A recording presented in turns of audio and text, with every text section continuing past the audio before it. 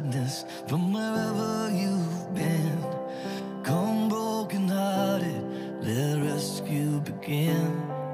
Come find your mercy, oh sinner, come kneel. Earth has no sorrow that heaven can't heal.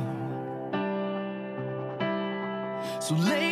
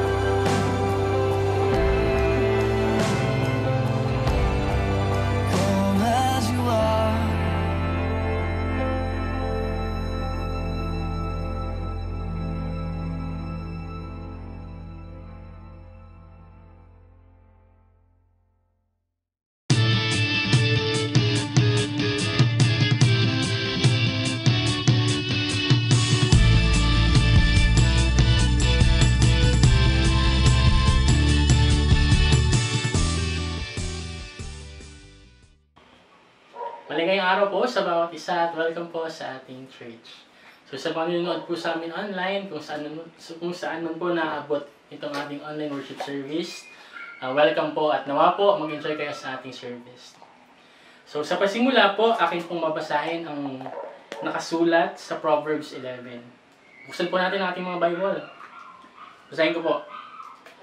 Ah, Proverbs 11, ah, verses 1 to 31. A false balance is an abomination to the Lord, but a just weight is His delight. When pride comes, then comes disgrace. But with the humble is wisdom. The integrity of the upright guides them, but the crookedness of the treacherous destroys them. Riches do not profit in the day of wrath, but righteousness delivers from death. The righteousness of the blameless keeps his way straight, but the wicked falls by his own wickedness. The righteousness of the upright delivers them, but the treacherous are taken captive by their lust. When the wicked dies, his hope will perish, and the expectation of wealth perishes too. The righteous is delivered from trouble, and the wicked walks into it instead. With his mouth, the godless man will destroy his neighbor, but by knowledge and righteous are delivered. When it goes well with the righteous, the city rejoices, and when the wicked perish, there are shouts of gladness. By the blessing of the upright is a city is exalted, by my, but by the mouth of the wicked is overthrown. Whoever belittles his neighbor lacks sense, but a man of understanding remains silent. Whoever goes about slandering reveals secrets, but he who is trustworthy in spirit keeps a thing covered. Where there is no guidance, a people falls, but in an abundance of counselors, there is safety. Whoever puts up security for a stranger will surely suffer harm, but he who hates striking hands in pledge is secure. A gracious woman gets honor, and violent men get riches. A man who is kind benefits himself, but a cruel man hurts himself. The wicked earns deceptive wages, but one who sows righteousness gets sure reward. Whoever is steadfast in righteousness will live, but he who pursues evil will die. Those of crooked heart are an abomination to the Lord, but those of blameless ways are his delight. Be assured, an evil person will not go unpunished, but the offspring of the righteous will be delivered. Like a gold ring in a pig's, in a pig's snout is a beautiful woman without discretion. The desire of the righteous ends only in good, the expectation of the wicked in wrath. One gives freely yet grows all the richer, another withholds what he should give and only suffers want. Whoever brings blessing will be enriched, and one who waters will himself be watered. The people cursed him who holds back grain, but a, pep, but a blessing is on the head of him who sells it. Whoever diligently seeks good seeks favor, but evil comes to him who searches for it. Whoever trusts in his riches will fall, but the righteous will flourish like a green leaf. Whoever troubles his own household will inherit the wind, and the fool will be servant to the wise of heart. The fruit of the righteous is a tree of life, and whoever captures souls is wise. If the righteous is repaid on earth, how much more the wicked and the sinner. So, salamat po sa Lord sa kanyang salita. Atin na po ihanda ang ating mga puso and even ang ating mga sarili as we uh, worship the Lord. Sige po, tayong pong lahat ay tumayo. Let's pray. Lord, we thank you, Lord, for this morning. Lord, we want to give honor and reverence to your name. Truly, Lord, you are good, you are great, you are glorious. Despite, Lord, ng pandemyang ito, yet, Lord, alam po namin you are in control of every situation, Lord, that you are allowing sa buhay namin, sa mundong ito. Kaya nga patuloy po kaming lumalapit at humihingi ng kapatawaran sa lahat ng aming pong pagkukulang. Lord, sa umagang ito, maging po sa uh, online worship service tuwing hapon, alam po namin na mas pinalawak mo ang kapahayagan ng iyong salita, hindi lang po sa isang lugar, kundi sa mandako ng bundong ito. Kaya nga po, we pray, Lord, for your mercy and grace, Lord. And even, Lord, we acknowledge, to, Lord, that we, where, there, where two or three are gathered in your name, there you are in our midst. So, Lord, we give honor, Lord, to your name. Knowing, Lord, na kapag ang iyong mga anak ay nagkakatipon, Lord, nangyarito ka.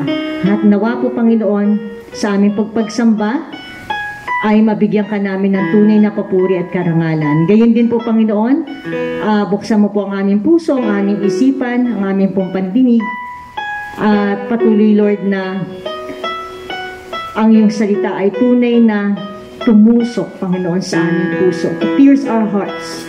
And Lord, help us, Lord, to really understand and comprehend your word.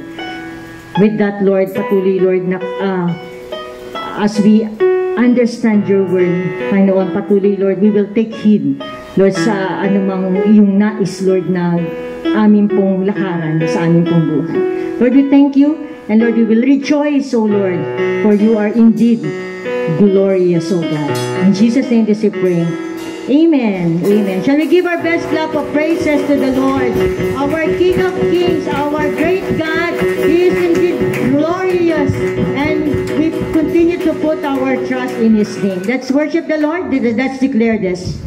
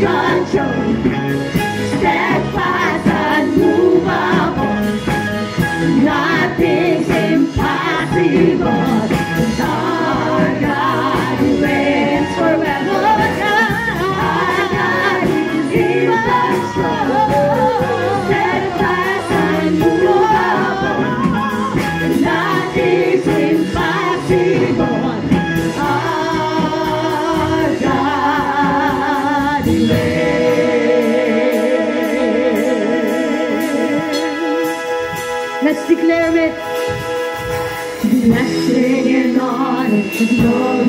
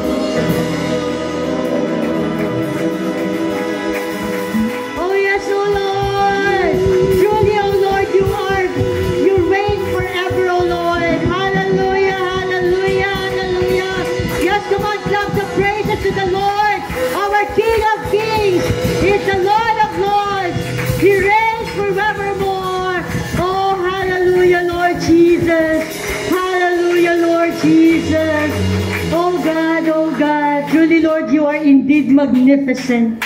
Lord, we will keep on declaring, O Lord, that you are worthy of our praise, O Lord. No one can compare, O Lord. You have created everything, O Lord. And even, Lord, you preserve us, O Lord, in this world.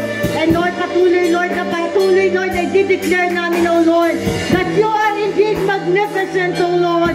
Yes, we will keep on worshiping your name, O Lord. Hallelujah.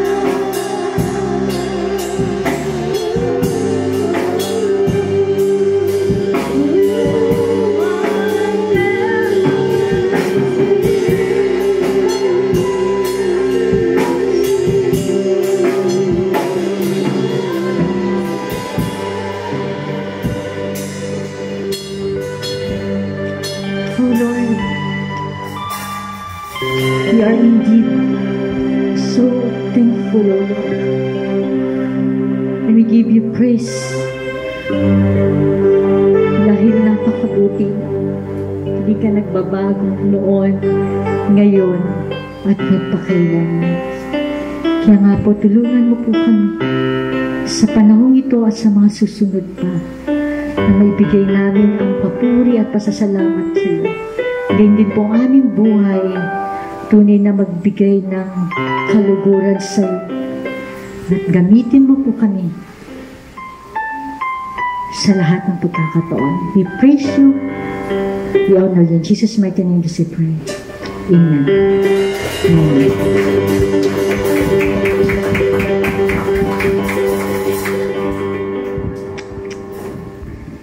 And let's continue to worship the Lord as we uh, read this word from the book of Daniel, chapter 3. As we continue to, uh, in our study, Daniel chapter 3, let's remain standing.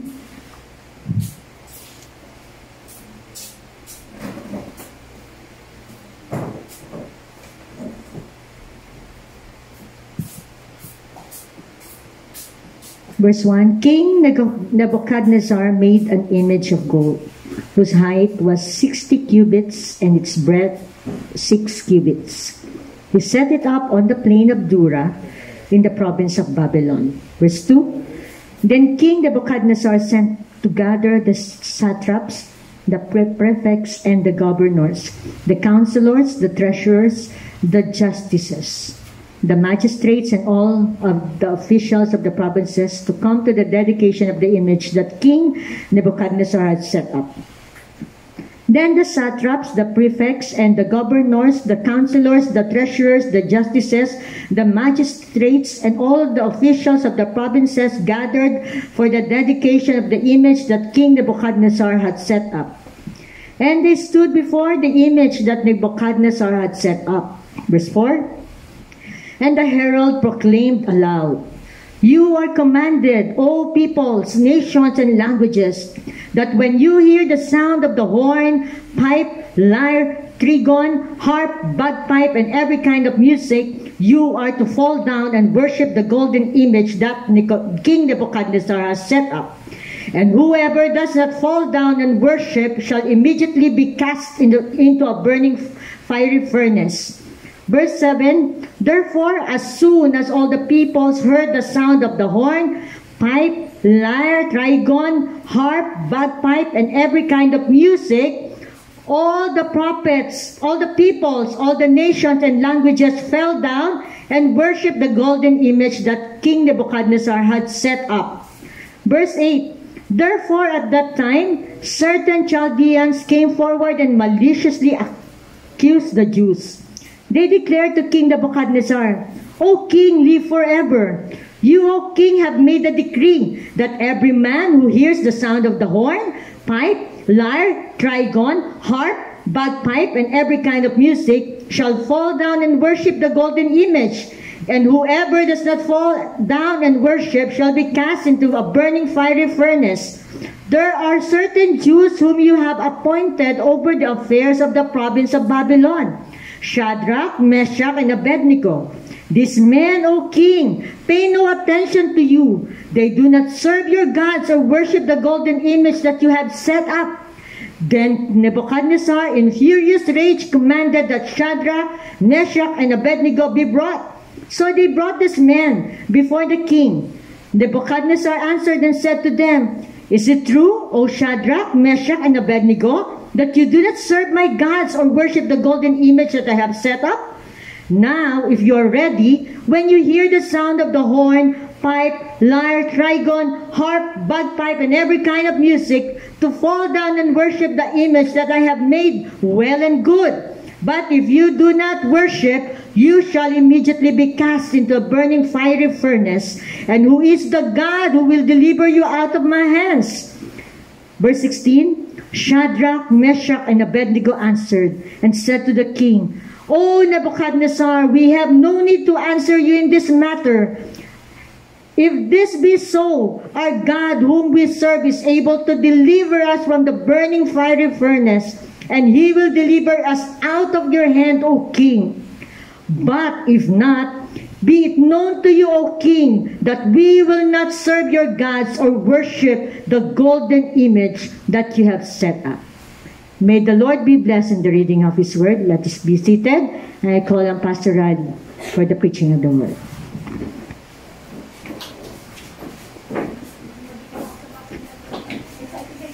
Okay, uh, blessed day to each and every one. Napakagandang bagay na tayo po ay uh, patuloy na nagiging bahagi ng sama-samang pagsamba.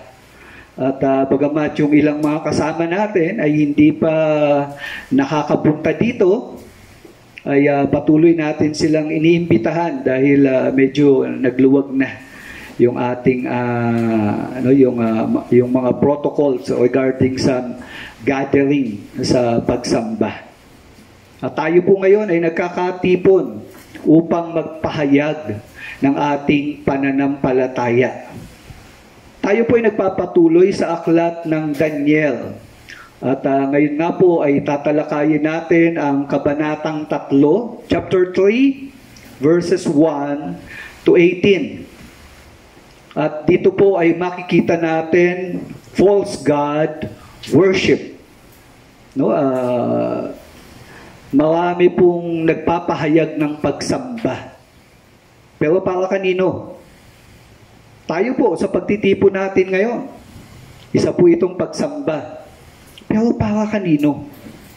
At uh, dito po makikita natin sa kabanatang ito kung paanong uh, yung uh, mga tao ay mayroong inklinasyon na sumamba sa hindi totoong Diyos. At tingnan po natin yung uh, takbo ng mga pangyayari. So may dalawang bagay po tayong makikita dito patungkol sa uh, false God worship Una, makikita natin sa verse 1 to 7, yung dedication of the image. Ang pangalawang bahagi, defiance to the king. No? So kita natin dito yung dalawang uh, pangyayari, ano? Na may mga taong nagpapahayag ng pagsamba sa huwad na Diyos At syempre, yung mga taong alam nila yung katotohanan, hindi nila pipiliing sambahin yung hindi totoong Diyos. Sino kaya tayo dito? Tayo ba yung sumasamba sa totoong Diyos at handang talikuran yung mga hindi totoong Diyos? O tayo yung sumasamba sa maling Diyos? At uh, ang uh, huwad na Diyos po ngayon, hindi po ito yung uh, imahin lang, kundi ito po ay kalagayan ng puso. So tignan po natin kung paano uh, na-develop yung mga pangyayaring ito at ano ang makukuha natin sa ating pag-aaral. Nawa, sa pag-aaral po natin ito, masalaming natin ang ating sarili. Sino ba ang sinasamba ko sa buhay? Gaano ba siya kahalaga? Ano ba ang kaya kong ibigay para sa totoong Diyos? At tingnan din naman natin yung mga taong sumasamba sa maling Diyos, ano yung kaya nilang ibigay para sa kanilang Diyos-Diyosan. So tingnan po natin yung unang bahagi, dedication of the image. So sa verses 1 to 7. Una pong makikita natin sa mga talata ay uh, ipinakilala yung imahen, the image. Sabi pong gano'n sa verse 1, King Nebuchadnezzar made an image of gold whose height was 60 cubits or 90 feet and its breadth 60 cubits or 9 feet. Can you imagine? Uh, ito'y uh, uh, tinubog sa ginto. Uh, sabi po nila, hindi naman pure gold itong idol na to eh tayo po, pag nakakita kayo ng ginto ngayon, eh, no? gintong singsing, gintong uh, hikaw, gintong uh, masyadong mahalaga sa atin. Eh, no? Although may mga ginto na hindi ganun ang quality, kaya mura lang na nabibili. Pero ito pong gintong pinag-uusapan natin is a kind of gold na mataas ang kalidad at ganito po, ito po yung uh, uri ng uh, ginto na ginamit uh, sa pagtatayo uh, nitong uh, imahe na ito. At gaano kalaki? Kung pamilyar po kayo sa pagbabasketball, yung pong pinaka-goal, no, yung ring, yun po ay 10 feet. Yun ang regular uh, height niya. Imagine niyo po ito, siyam na ulit ang taas. And then, gaano kalapad? 9 feet. And then, tinubog yun sa ginto. At uh, yun po yung size ng image. So, basically, kung uh, makakakita kayo ka ng ganyang imahen, talaga namang hahanga ka eh. Ano? At uh, maraming ang mga tao ngayon, hindi man imahing ginto ang kanilang sinasamba, pero nauubos naman ang oras para magkaginto, para magkapera. Datong, kwalta, salapi. Maraming ganyan. Na para bang hindi siya mabubuhay kung walang pera. Na ang pakiramdam niya, sasaya lang siya pag may pera na siya. Kaya po may mga tao nanloloko para lang magkapera. At may mga tao handang pumatay, magkapera lang. So gold, the image of gold is being worshipped even nowadays. At dito po sa panahon ni Nebuchadnezzar, imahin ng ginto ang kanilang sinasamba. Sa Daniel chapter 2, na-introduce na sa kanya na mayroong totoong Diyos. Palibasa, si Nebuchadnezzar, siya po ay uh, polytheistic. Ibig sabihin, may koleksyon siya ng iba't ibang Diyos. Kaya madali sa kanya nakilalanin yung ibang Diyos nang hindi niya tinatalikuran yung kanyang mga Diyos-Diyos ang kinikilala. So may kule- nagkukolekta lang siya ng mga Diyos. Kaya sa Daniel chapter 2, noon pong nirecognize niya yung Diyos ni Daniel, hindi po ibig sabihin na siya ay naligtas na. Kundi ang ginawa niya, si Yahweh, idinagdag niya lang sa, sa kinikilala niyang Diyos. At marami pong mga ganong tao. Divided ang puso. Nagpapakilala na yung tunay na Diyos pero hindi mabitawan yung ibang mga Diyos-Diyosa nila. So si Nebuchadnezzar, ganon ang kanyang kalagayan. Kaya naman dito sa chapter 3, nagpatayo siya ng uh, repulto na gawa sa ginto. At marahil, ito daw pong uh, resemblance ng, uh, ng imahe na to, eh, yung kanyang itsura. Sapagkat sa chapter 2, ipinakita ni, ipinaalam ni Daniel na yung uh, imahin dun sa chapter 2, yung yung image of gold ay walang iba kundi yung King of Babylon. Kaya dito, ang ginawa nung uh, haring si Nebuchadnezzar, nung gumawa siya ng rebulto, ginawa niya rin itong ginto to represent himself. O sa ibang uh, pananaw naman, baka ito, ito daw yung tinatangi na Diyos ni Nebuchadnezzar. So tingnan natin saan niya nilagay. Sabing ganon, he set it up on the plain of Dura in the province of Babylon. So ito pong lugar na ito ay isang uh, uh, malawak na lugar at pwedeng tipunin ang sangkapelbang tao. Doon niya inilagay itong imahe na to. At sino yung mga umaten? Ito yung mga subjects. Sabi sa verse 2, Then King Nebuchadnezzar sent to gather the satraps, the prefects, and the governors, the counselors, the treasurers, and justices, the magistrates and all the officials of the provinces. No, so lahat ng uh, nasasakupan ni Nebuchadnezzar, pinatawag niya. Anong purpose? Sabi ganon, to come to the dedication of the image. Kita po natin dito na ang pagtitipon, hindi katulad ngayon, nagtitipon ngayon, mayroong political agenda Dati po, ang mga tao, nagtitipon sila for the sake of their God. Dahil sa Diyos. Ang problema po ng sangkat ng uh, takbo ng sistema ng sangkatauhan ngayon sa politika, gusto nilang tanggalin ang Diyos. Kaya po may mga lugar kung saan bawal mag-pray, bawal magbasa ng Bible. Uh, pero kung tutuusin, ang tao po,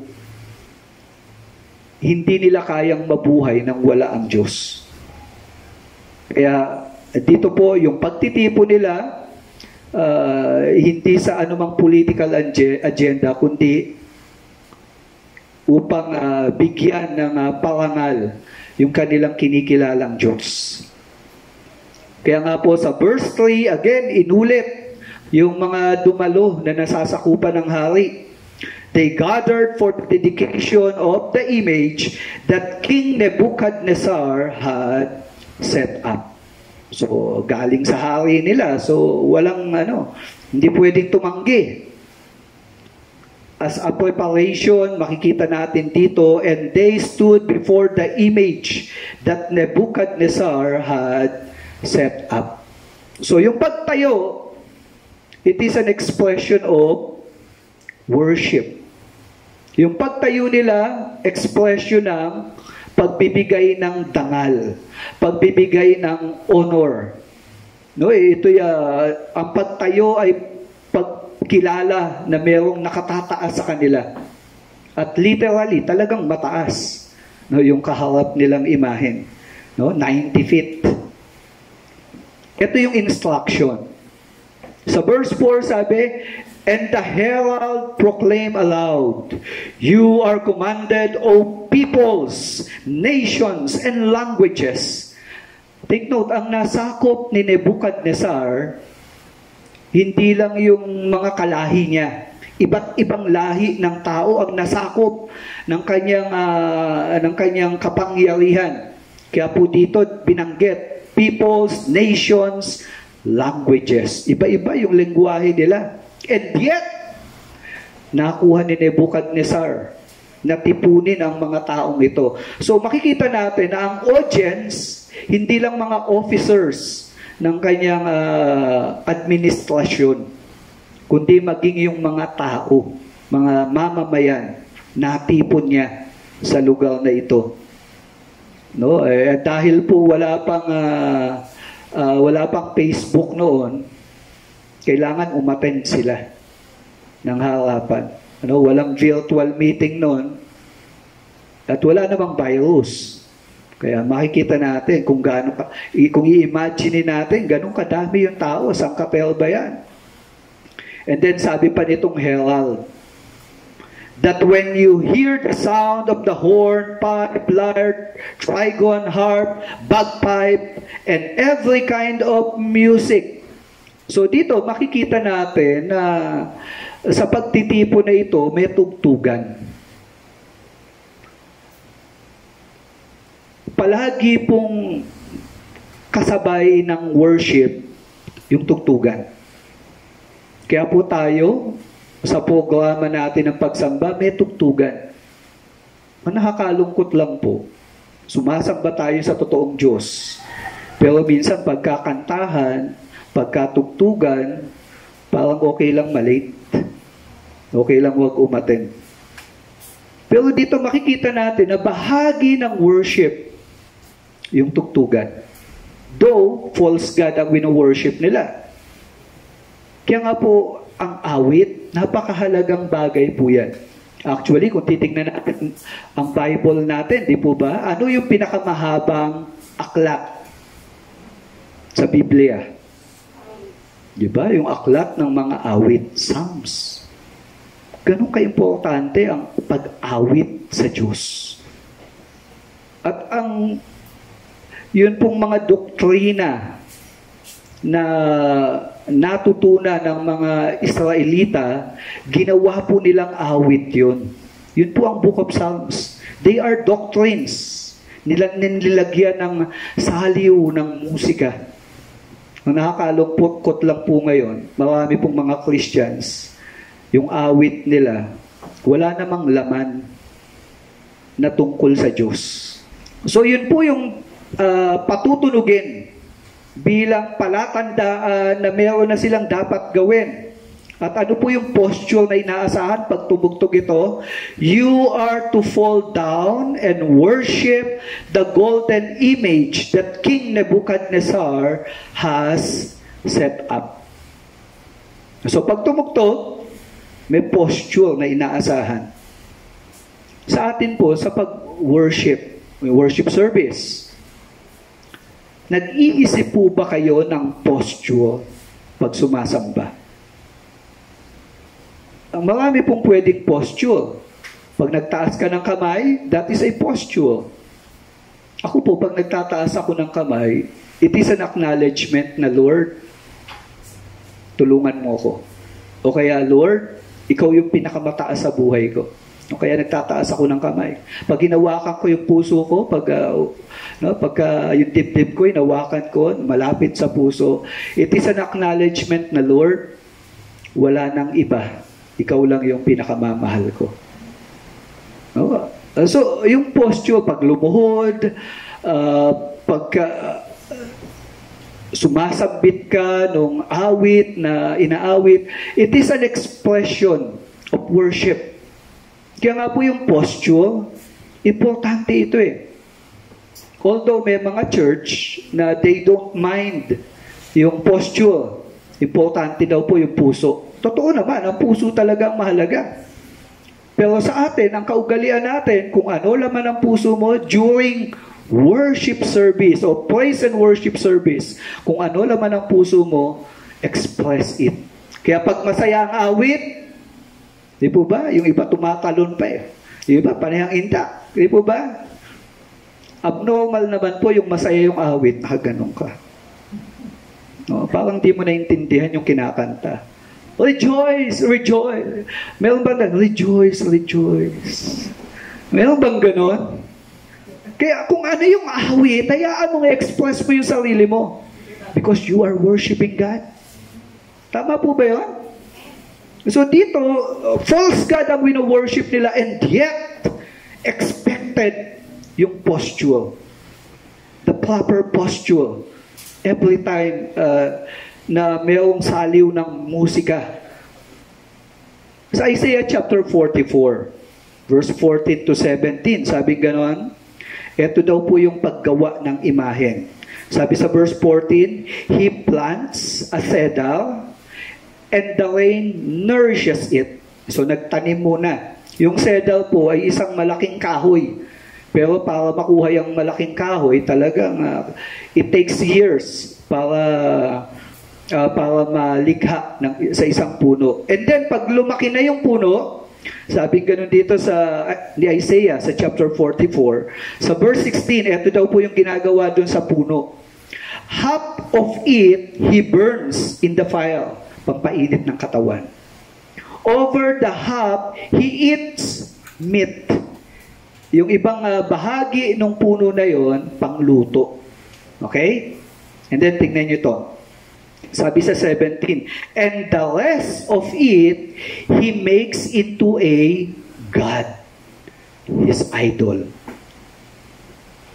and falls down to it and worship it. Isipin niyo yung, uh, yung kinukwento ni Isaiah. Punong malaki, yung isang bahagi, ipinanggatong mo para mainitan ng katawan, yung isang bahagi, ginamit mo para makapagluto ka ng oatmeal, uh, ano, ng, uh, kung ano mang niluluto. Tapos yung ibang bahagi, hinulma mo na itsura nung, nung uh, kung sino mang kinikilala mong idol. And then, abababa, you worship. He prays to it and says, Deliver me for you are my God. Grabe, no? Iligtas mo ako. Hmm. Kita mo yung kaputol ng puno. Kina, iligtas mo ako kasi ikaw ang Diyos ko. Can you imagine? Ganun po ang mga idol worshippers. At dito si Nebuchadnezzar nagbigay ng instruction.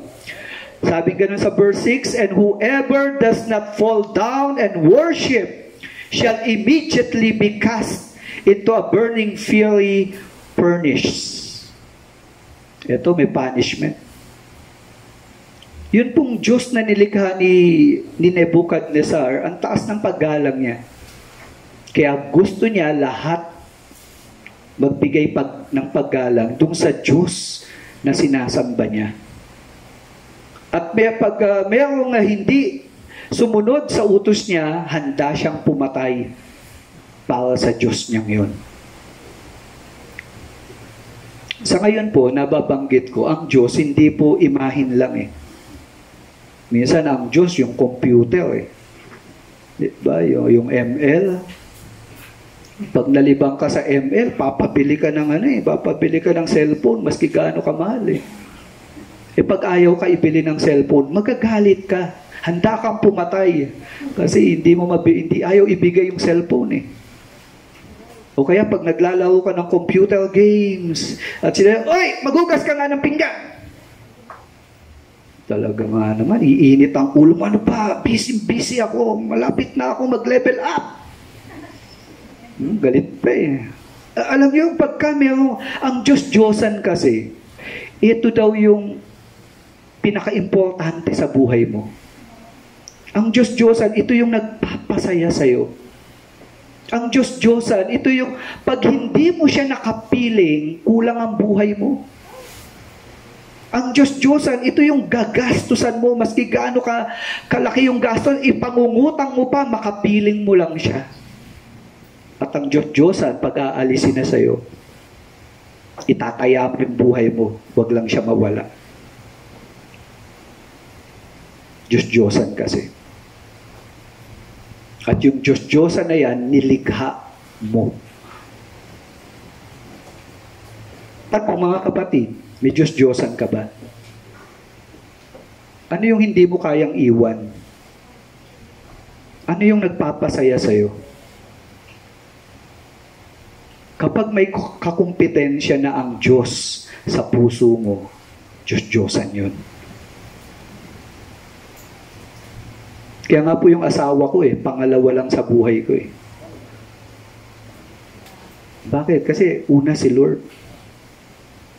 Pag pinagbawalan ka sa isang gawain at ikinaga, alam mo namang masam, hindi nakakatulong sa iyo yung gawain na yon, nakakasama sa iyo, pero hindi mo maiwan, baka Diyos mo na yan. Pag ang anak mo, pinagbabawalan mo sa isang gawain, o sa isang habit o bisyo. At nung pinagbabawalan mo, naglayas. Kasi inaaway mo yung Diyos-Diyosan niya. Gusto niya, mahalin mo yung Diyos-Diyosan niya. Tanggapin mo siya kasama yung Diyos-Diyosan niya. Ganito na ako eh. Minsan pride din yan eh. Kaya dito makikita natin si Nebuchadnezzar handa siyang pumatay magsunog, sabing ganon. Susunugin niya agad-agad. Di ba? Immediately. Kasi ayaw niya na may lumalapastangan sa kanyang Diyos. Kaya dito sa programa nila ng pagsamba, ito inulit na naman yung sounds No? And then pag tumunog yung sound, ito yung dapat gawin ng mga eh, spectators, all the peoples, nations, and language, languages fell down and worshiped the golden image that King Nebuchadnezzar had set up. So hindi pwedeng hindi mag-worship.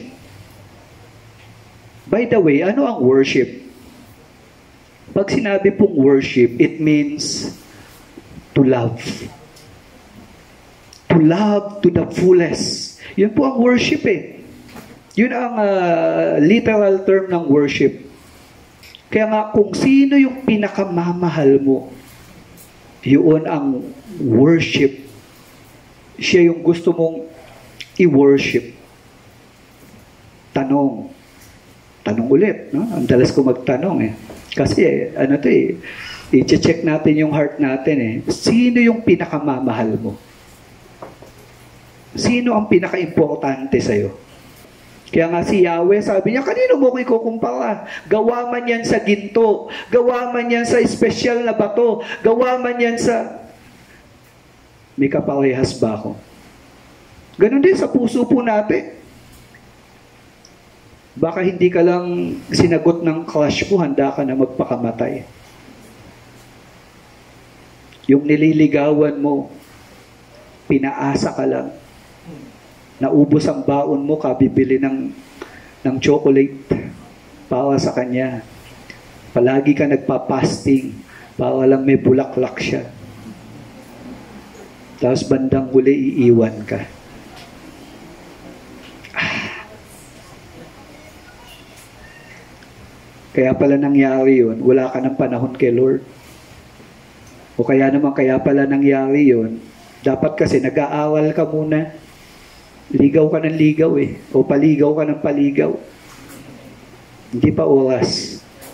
Sabi ni R.C. Sproul, Sproul, The only kind of God we can love by our sinful nature is an unholy God, an idol made by our own hands. So pagka tinanggihan mo ang totoong Diyos, gagawa ka ng sarili mong Diyos. At minsan, yung Diyos na nililikha mo, kamukha mo. Di ba? Kung ano yung gusto mo, kung ano yung hilig mo, yun ang nililikha mo eh. Tapos, ipinagpapalit mo ang Diyos doon. That is an idol. Ang isang tunay na mananampalataya, pag naramdaman niya at nakikita niya na mayroong idolatry. May kakumpetensya ang Diyos na lumalaganap. Dito po makikita natin, pangalawang bahagi, defiance to the king. Umpisa po, itong nagbigay ng impormasyon, yung ilang mga kasama nitong uh, tatlong lalaki. Sabi sa verse 8, Therefore, at that time, certain Chaldeans came forward and maliciously accused the Jews. No? So dito parang ang intention uh, yung uh, mga Israelita, yung relihiyon nila ang gustong ah, wasakin. Sa verse 9, sabi ganon, They declared to King Nebuchadnezzar. So, maraming sinabi. And then sa verse 10, You, O King, have made a decree that every man who hears the sound shall fall down and worship the golden image. So, dito, nire, yung nagsusumbong, nire-report nila yung uh, violation ng mga isusumbong nila. At dito, tinutukoy, Hudyo. Pero sino pang mga Hudyo? Sa verse 11, And whoever does not fall down and worship shall be cast into a burning fiery furnace. So dito, uh, again, inulit yung malupit na pagpaparusa. Nawanasan nyo na po bang mapasok? Ito, hindi ka lang papasuin. Itatapon ka dun sa pugon ililitsyon ka. Ganon, uh, ganon ang intensyon. At nung panahon daw pong ito sa Babylon, yung paggawa ng mga bricks, no, yung mga tinatayo nilang in- infrastructure, meron daw pong malaking pugon, initan. No, doon usually ginagawa yung mga bricks para tumigas agad. Ngayon, itong gawaan na ito, doon itatapon yung mga magba-violate at hindi sasamba sa Diyos-Diyosa na ginawa ni Nebuchadnezzar. At uh, nandun lang yon At anytime. Kaya nga, uh, pwedeng gawin to immediately. Eh. And then, sabi pang ganon, sa verse 12, eto na yung uh, intention ng nagsumbong. There are certain Jews whom you have appointed over the affairs of the province of Babylon, Shadrach, Meshach, and Abednego. Dito po makikita natin na ang isinumbong, although sa umpisa, Jews, parang ang dami nun eh. Marahil yung mga Hudyong iba, nung pinatunog yung uh, prompt, lumuhod pero maski na lumuhod ang kalamihan, mayroong tatlong lalaki. Pinili nilang hindi lumuhod. Pero sa mata ng hari, dahil sa sobrang marahil ng dami, hindi niya nakita na may nakatayo. Pero itong mga lalaking ito na nagsusumbong sa hari, binantayan nila. Di po ba pag nag-worship ka, Di po ba? Hindi mo makikita yung nasa kaliwa, nasa kanan eh. Di po ba? Pero itong mga lalaking ito, saan nakatingin? Oh, tinitingnan nila, oy, luyo ko kaya to. Binabantayan nila. Bakit? Kasi itong si Shadrach, Meshach at Abednego, na-promote. Di po ba sa chapter 2? Yung mga nalagpasan, Kumbaga, siguro ito yung mga taong dapat ako na-promote eh. Yung mga nalagpasan nitong uh, promotion nila Shadrach, Meshach at Abednego, masama ang loob. Kasi imbis na sila yung, ang tagal-tagal ko na dito, ba't yung mga tatlong lalaki na yan ang na-promote? Ba't sila yung binigyan ng posisyon? Kaya naman itong mga taong ito, nung una pa man, naghahanap na ng kamalian. Bilang Kristiyano, tandaan po natin, maraming tao gusto nilang pulaan ang Diyos. At dahil hindi nila kayang saktan ng Diyos ng direkta, ang gagawin nila, pag nakita nilang makadiyos ka, ikaw ang hahanapan nila ng butas. At yung pagkakamali mo, isisisi nila sa Diyos. Ganun ang gusto nilang gawin. At dito, makikita natin itong mga naiinggit na to, ganun ang takbo ng isip nila. Kaya bintayan nila itong uh, si Shadrach, Meshach, and Abednego. Sabi pa, This man, O king, pay no attention to you. They do not serve your gods or worship the golden image that you have set up. So dito yung sumbong, uh, ang sin- din- direct ang sinasabi nila eh. Parang sinasabi nitong nagsusumbong, O hari, binastos ka nila. At yung Diyos, Diyos na tinatangkilik mo, iniidolo mo, binastos din nila. Kaya what can you expect sa magiging ex- expression nitong ni Nebuchadnezzar? Sa Exodus chapter 20 verses 3 and 4, malinaw ang sabi ng Panginoon sa mga Israelita, You shall have no other gods before me. You shall not make for yourself a carved image or any likeness or anything that is in heaven above or that is in the earth beneath or that is in the water under the earth. So dito yung image ng nasa langit, imahe ng nasa lupa, imahe ng nasa tubig o nasa ilalim ng lupa, huwag kang gagawa.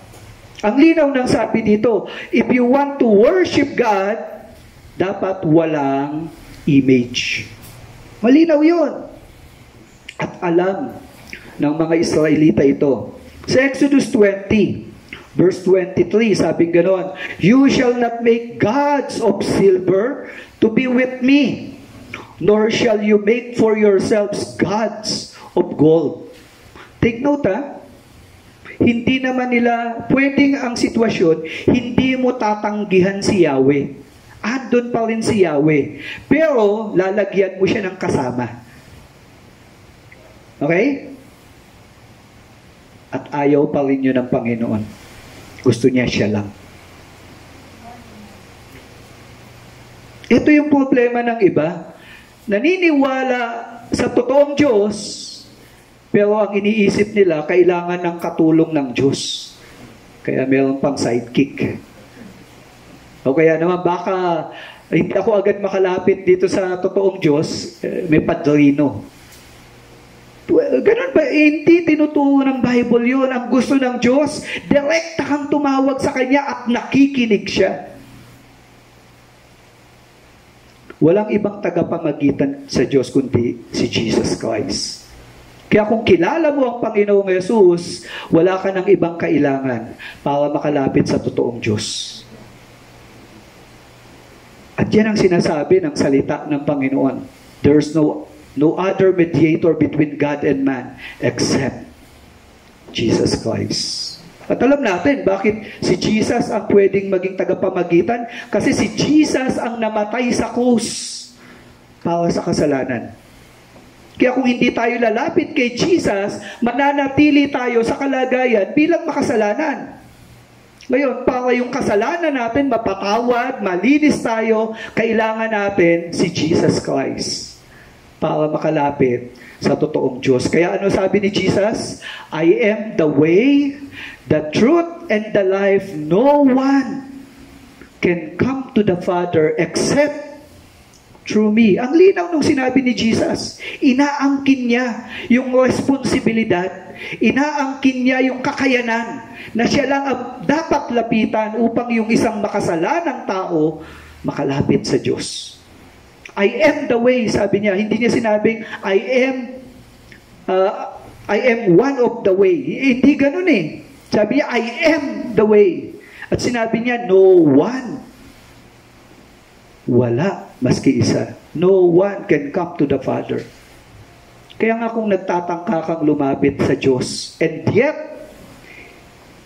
hindi mo kinikilala si Jesus bilang Panginoon na tagapagligtas, nakalulungkot mang sabihin ko ito, kailanman hindi ka mapapalapit sa Diyos. Kailangan natin si Jesus. At dito, dahil sa ganung uh, sitwasyon, uh, nag-imbestiga yung hari. Sabing ganon sa 13, Then Nebuchadnezzar in furious rage commanded Shadrach, Meshach, and Abednego be brought before the king or before him. Siyempre, ginalit yung hari eh. Sabi ng mga nagsumbong, binastos ka niya. Binastos din ang Diyos mo. So sabi ni Nebuchadnezzar, ano ba yan? Pinatawag. Dinala itong tatlong lalaking ito. Sa verse 14, Nebuchadnezzar answered and said to them, Is it true no, that you do not serve my gods or worship the golden image that I have set up? No, so dito si Nebuchadnezzar medyo kalmado pa eh. Galit siya pero dahil king, no, syempre, plastic. No? Kalmado, eh, uh, idadaan sa hustisya. Tinanong niya, ah, totoo ba? No? Sa verse 15, inulit ni Nebuchadnezzar yung decree. No, uh, yung uh, pagtunog ng sounds and then kailangan sila mag-worship. Uh, sabi niya gano'n, but if you do not worship, you shall immediately be cast into a burning fiery furnace. So dito, uh, talagang uh, malinaw na sinasabi ni Nebuchadnezzar, ito yung punishment. Pero sa bandang huli ng pananalita ni Nebuchadnezzar, may yabang. Tinataas niya yung sarili niya. Kasi tingnan niyo yung sabi, And who is the God who will deliver you out of my hands. Excuse.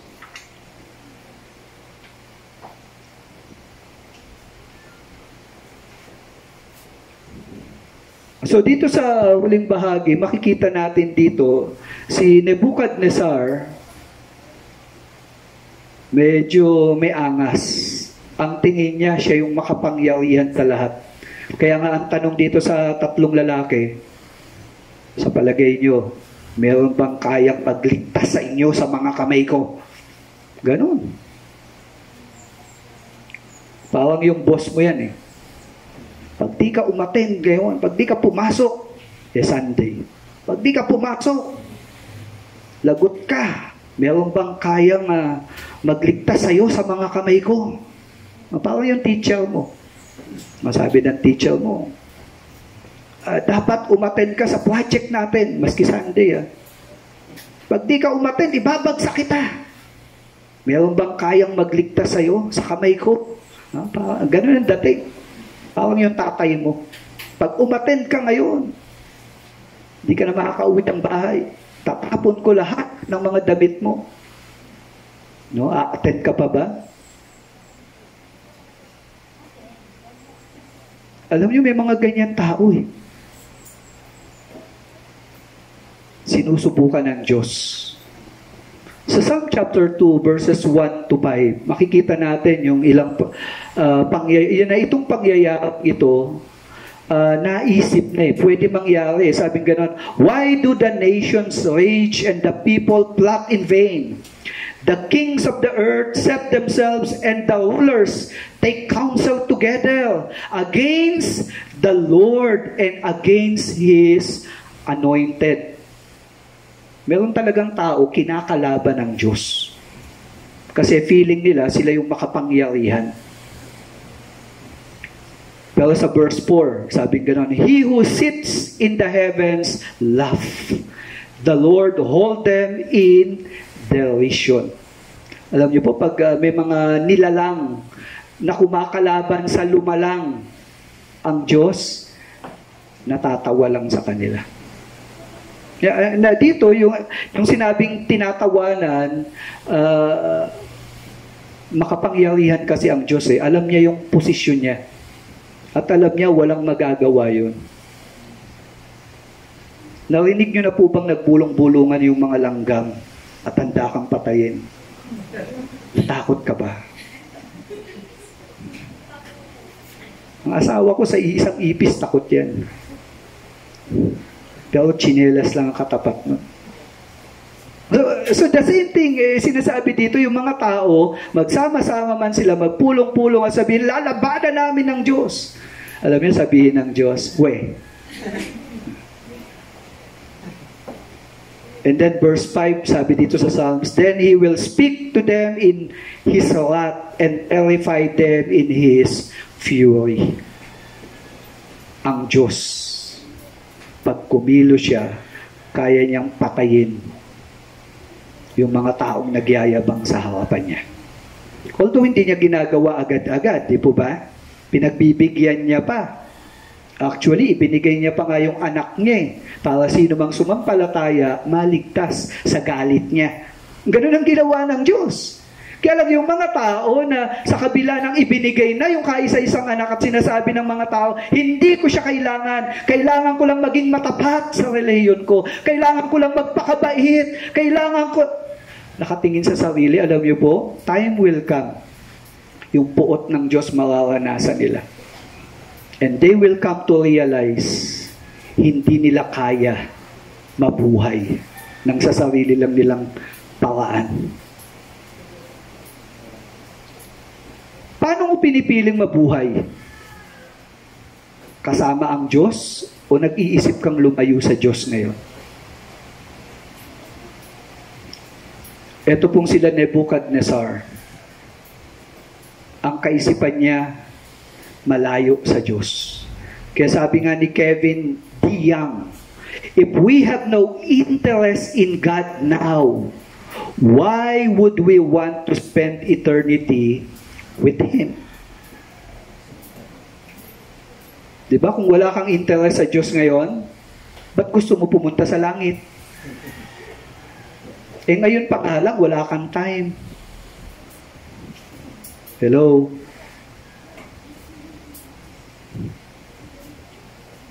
Dito makikita natin yung response sa sumunod na pangyayari, yung integrity ng mga mananampalataya. Kita natin yung courage. Shadrach, Meshach, and Abednego answered and said to the king, Oh, Nebuchadnezzar, we have no need to answer you in this matter. Take note ha, hari yung kaharap nila. Ano sagot nila? Hindi ko kailangan mag-explain. Tinanong ka na ba ng boss mo? At sinabi mo, hindi ko kailangan mag-explain. Bakit? Kasi automatic, alam nung, nung uh, ni Nebuchadnezzar, ano yung faith nila. Automatic yun eh. Kilala sila eh. Kasama sila ni Daniel nung ininterpret yung dreams. Kaya sabi nila nitong uh, tatlong lalaking to, hindi na namin kailangan mag-explain. And then ito pa yung confidence.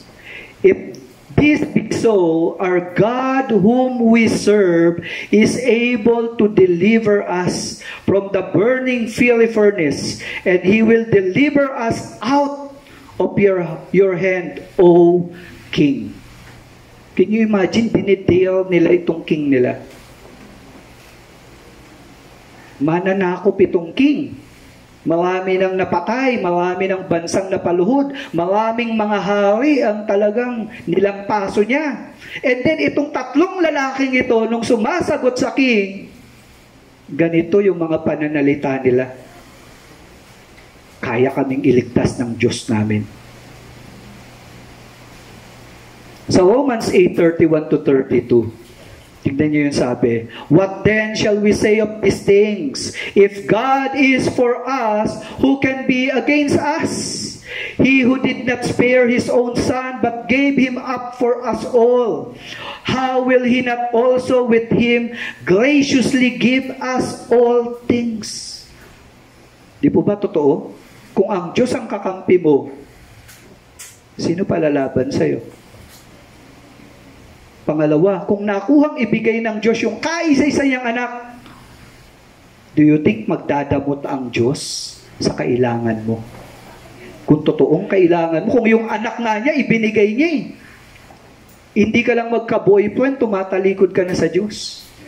Hindi ka lang makapasok ng bagong trabaho, ayaw mo lang mag...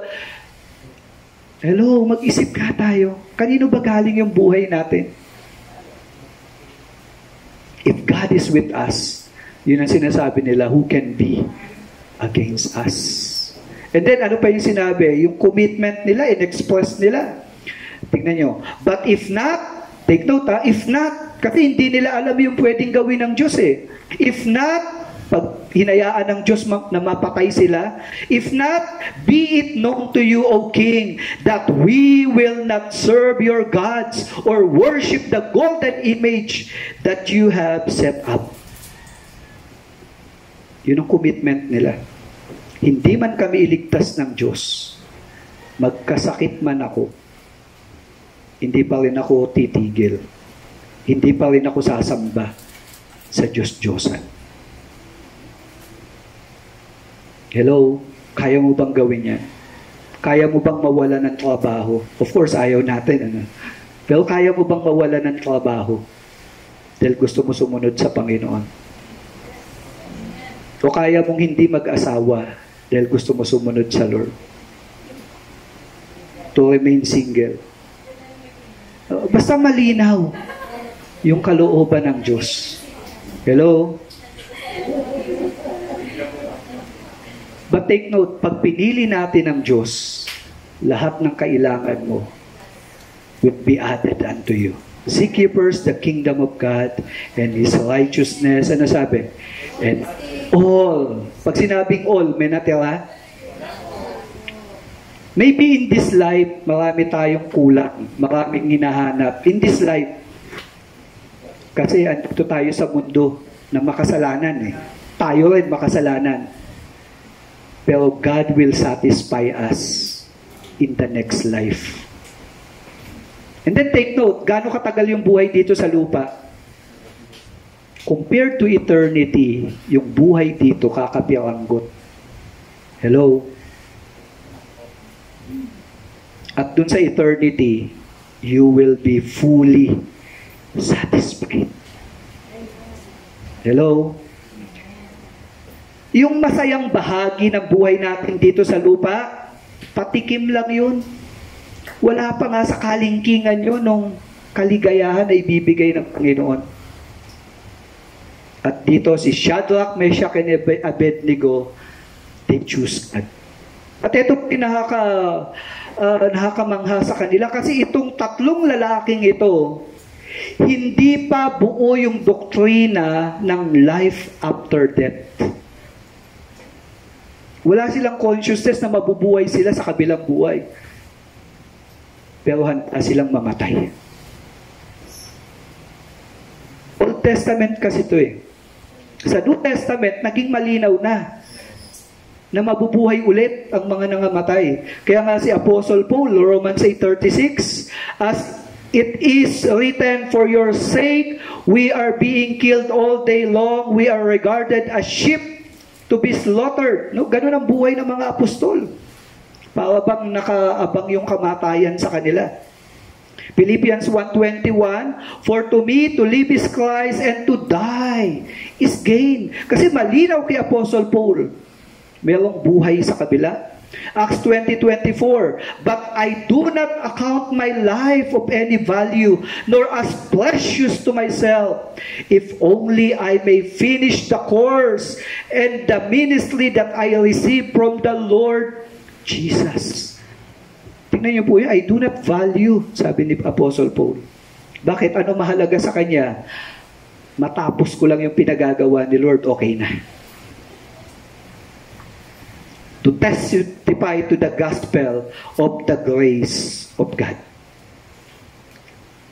Kapatid, ano yung highest purpose mo in life? Ito ba'y para sa Panginoon o para sa sarili mo? Totoo, may kamatayan. Sabi ni R.C. Sproul, because of Christ's death, because of Christ, Death is not final. It is a passage from one world to the next. Malinaw yan sa lahat ng mananampalataya. Pag namatay tayo ngayon, pintuan lang yan para pumasok ka kasama ang Panginoon na totoong nagmamahal sa iyo. Hello? Kaya po ang kamatayan sa mananampalataya, hindi ka dapat matakot yan eh. Kundi pag oras mo na, dapat masaya ka na nga eh. Kasi uuwi ka na sa totoong tahanan mo. Ba't ayaw mo umuwi na, ba't ayaw mo pa umuwi kay Lord? baka hindi pa gawa yung assignment. Hello? Pero pag kumpleto mo na yung assignment, sabihin mo, Lord, I'm here. Death can come anytime. Pero sa mananampalataya, ang kamatayan hindi kinatatakutan. Yun ang pinakamaligayang kalagayan mo. Hello? Kasi alam mo, yung Panginoon mo namatay, pero pagkalaan ng ikatlong araw, nabuhay ulit. At dahil siya yung Panginoon mo, mamatay ka man, mabubuhay ka ulit. At kailanman hindi na magtatagumpay ang kamatayan sa kabilang buhay. Amen?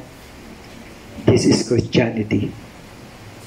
Mas buo ang, pana- ang, ang katotohanan sa panahon natin ngayon compared dito sa tatlong lalaki na to. And yet, they are willing to give their life. So nakita natin as an overview yung dedication of the image. Man creating God in His own image. This is idolatry. Ang pangalawang bahagi, defiance to the king. Man recognizing God who created him. And I call this integrity. Anong integrity? Pag sinabing integer, dun galing yan, it means whole number. Kaya pag sinabing integrity, kinikilala mo ang totoong kalagayan mo sa harapan ng Diyos. At kailanman hindi mo pagpapalit ang Diyos maski kanino o sa maski anong bagay man dahil kilala mo ang totoong nagmamahal sa iyo. Integrity to the living God. If you believe what you like in the Bible and reject what you don't like, it's not the Bible you believe, but yourself. Yan po yung idolatry eh. Kaya yung iba namimili ng pakikinggan sa Bible eh. May tinatanggap sila at meron silang, pag may teaching na ganito, ayaw nila makinig. Yun pong ganyang attitude. It means na ang sinasamba mo, sarili mo. Na ang pinaniniwalaan mo, sarili mo lang. And that is idolatry. False God worship. Nawa hindi tayo bumagsak sa ganitong kalagayan. Narito ang totoong Diyos. If you want to worship Him, give Him the best. Give nothing less. Pwede po bang mag-express tayo ng pagsamba sa Lord sa pagtayo natin?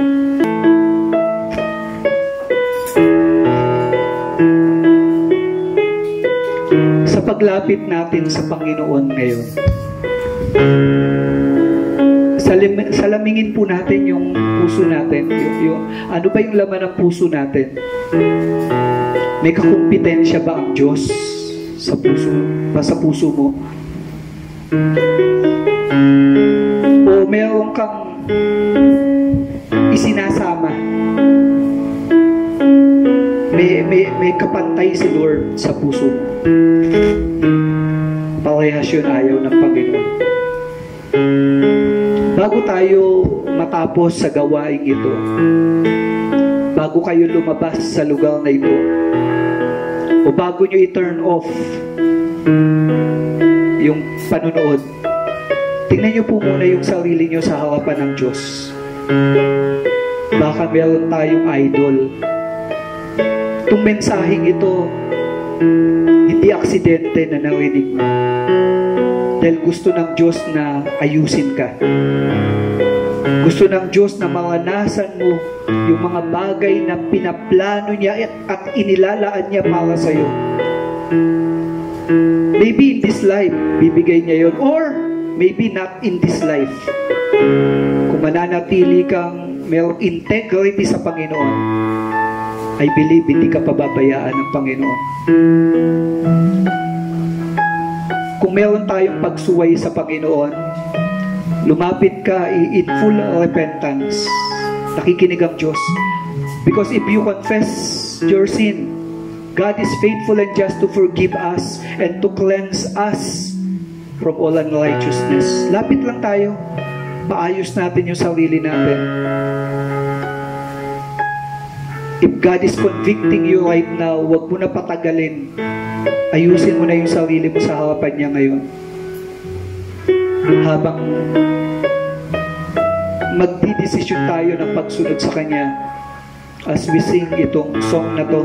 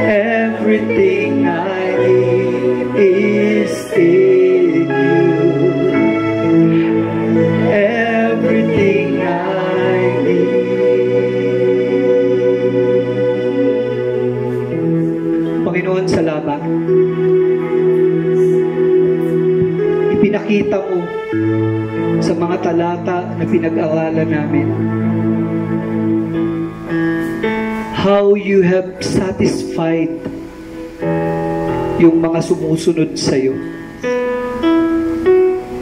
And they have learned to obey you at any cost. And we know sa takbo ng mga pangyayari, hindi mo sila pinabayaan. At sa takbo ng pagyayari, ikaw ay naparangalan. Lord, we know, hindi mo pababayaan yung pangalan mo sa buhay namin. But there are times, kailangan naming manindigan upang sumunod sa kalooban mo. Panginoon, bigyan mo kami ng tapang, lakas ng loob.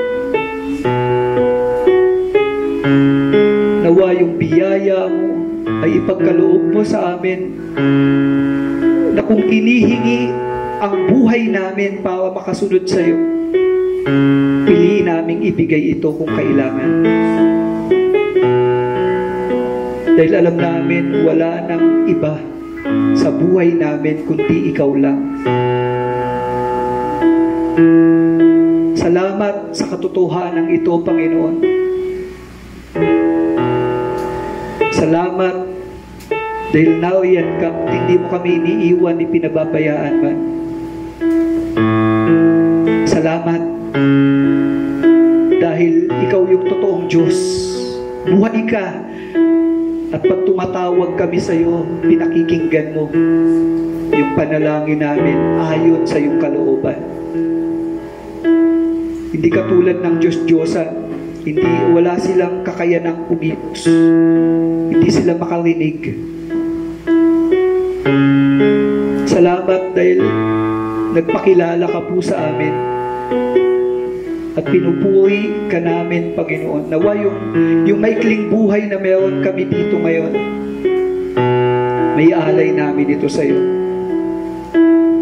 Yung mga kapatid ko, ano man po yung mga desisyon na ginagawa ngayon, tulungan mo sila na piliin kanila. Sumunod sila sa iyo. At Panginoon, yung yung sumusunod sa iyo, nawa maranasan nila yung mga mabubuting bagay, hindi lang sa kabilang buhay, kundi maging sa buhay na to. Lord, salamat. Salamat, Panginoon, dahil nauyan ka. Kung nagkukulang man kami, salamat, Panginoon, dahil hindi ka nagkukulang. Inaayos mo yung buhay namin. Lord, we want to bless you. We want to honor you. Sa pagtatapos ng panambahan natin ito, just can we have this uh, gesture? Taas lang natin yung kamay natin. Expressing na, Lord, sumusuko ako sa iyo. Sa ating Diyos na makapangyarihan sa lahat. Sa ating Diyos na hindi nagbabago noon, ngayon, at magpakailanman. Siya na lumikha ng langit at lupa.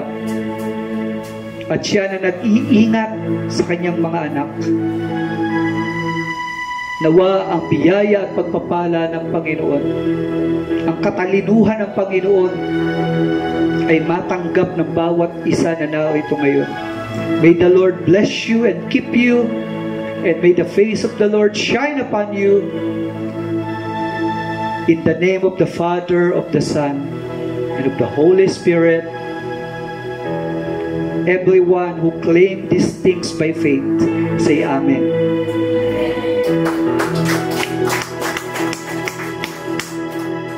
Blessed life for each and every one of you. God bless you. Magandang hapon po muli. Salamat nga po sa Lord sa salita niya na ating napakinggan ngayong araw ah, sa pamamagitan ng ating pastor. Tunay nga ah, na walang sino man o anuman ang makaka ang comparable sa ating Panginoon. At ah, kung may mga pagkakataon na dapat tayong mag-stand firm sa ating faith, gawin nga po natin yun. Tulad nila Shadrach, Meshach at Abednego. Sa ating tithes and offering. Sige po. Uh, I will read a verse from the book of Hebrews.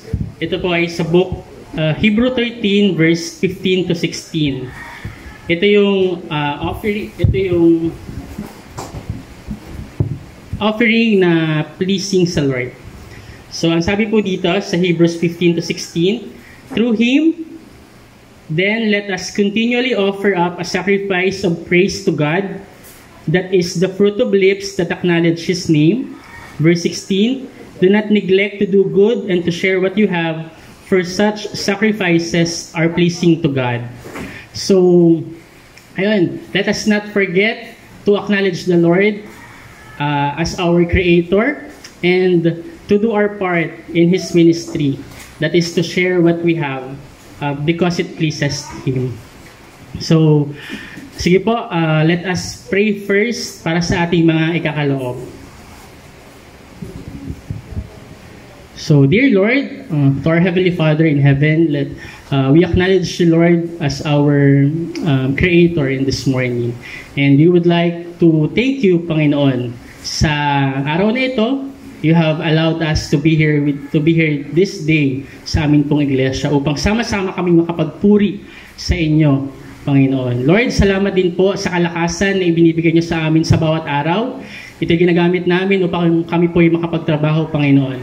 And salamat din po sa mga malusog na pangatawan na meron kami ngayon. Uh, despite this pandemic, uh, you sustain us, O God. And Lord, uh, sa panahon na to or sa pagkakataon na to, as we give to you our tithes and offering, I pray na um, bigyan niyo po kami, Panginoon, ng kasiglahan sa aming mga puso na gagawin namin itong service or itong worship na to sa inyo uh, because you want to acknowledge you and you want to offer a sacrifice to you that is pleasing.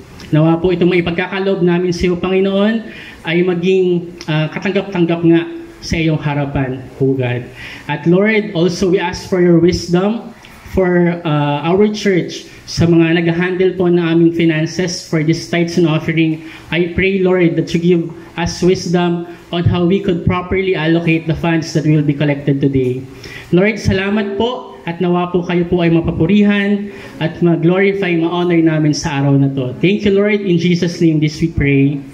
Amen. Ngayon naman po, uh, dako tayo sa ating mga announcements. Patuloy po namin kayong inaanyayahan na mag-attend ng ating, on, ng ating online worship service tuwing 2 p.m. Pero meron din po tayong ginagawang face-to-face service sa ating iglesia tuwing Sunday every 9.30 a.m. po. And also, sa iba pang activities ng ating iglesia tulad ng prayer meeting every Wednesday and discipleship groups ng kanya-kanya mga D-groups. Ini-encourage po namin kayo na umaten.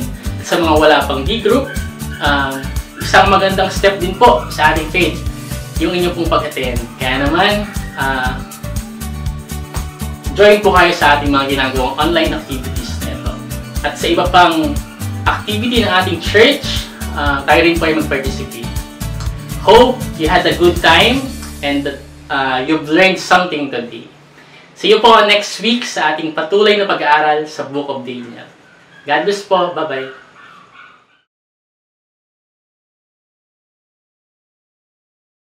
GCC Gospel Coalition Church. Our mission is to glorify God by proclaiming the gospel until we all attain the whole measure of the fullness of Christ, sharing Christ, changing lives.